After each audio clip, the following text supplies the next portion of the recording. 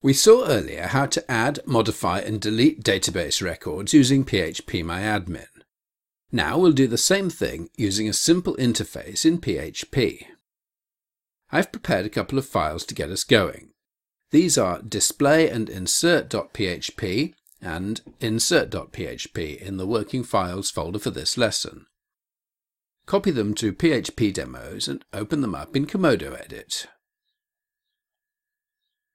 First of all, in display and insert.php, you'll see that this contains much the same code as the script display.php from the lesson before last. We connect to the database and then we use the same method as we used in display.php to display all the data in the database. There's no need to use a prepared statement here because there's no user input to sanitize. Then, as before, we have a table header and then a loop using fetchObject, within which we echo out each row of data as a table row. Below that the code's new. We have a form pointing to insert.php using the method post again. And within the form we have a table, and then inside the table cells we have input boxes where we can type in the data that we want to add, and below that we have a submit button. Now, all we need to do in insert.php is to write the code to insert this new data, and for this we will use a prepared statement. In it, I already connect to the database, and I've already assigned the values of the post superglobal to variables. As before, we'll set up an object called $stmt, using a prepared SQL query.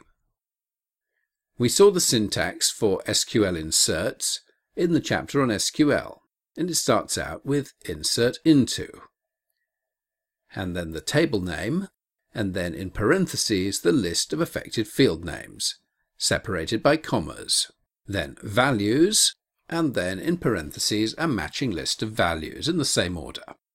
But in the prepared statement, the values are replaced by question marks. Then we used bind param as before, with three strings indicated by SSS, and then the three variables to insert, which are $username, $password, and $secrets.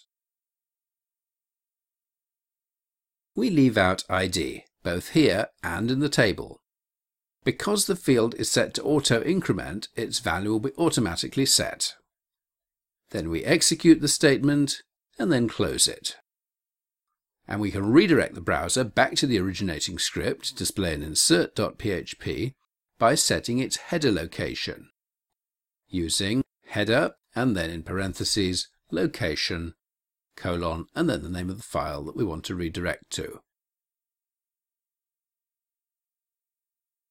Now load up display an insert.php in your browser, put in some new values for name, password and secrets and press submit and check that it works as expected.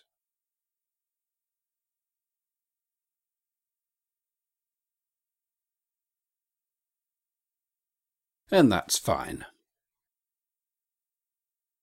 That's the basic way to insert data using a prepared statement in PHP. In the next lesson, we'll adapt these two scripts to delete data from the database.